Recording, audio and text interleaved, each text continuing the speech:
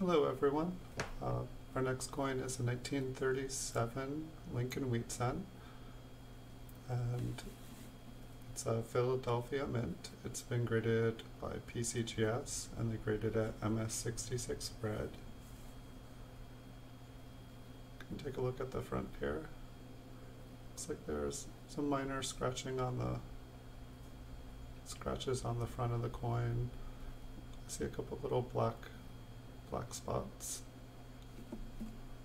In the back, the back here looks pretty good. Pretty nice surface. Not sure if there's a little something between the C and the E there.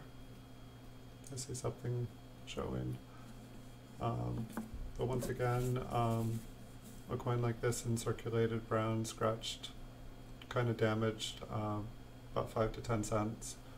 Um, you can buy and sell them all day long on eBay. Um, one that's been graded MS66 in mint state like this, um, you know, it's gonna go for like twenty to forty dollars probably.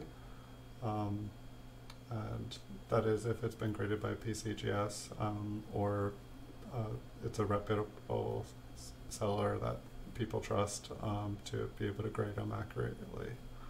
Um, gonna post this one on eBay and say goodbye to it. Um, but you guys are welcome to go check it out and see the pictures and stuff there.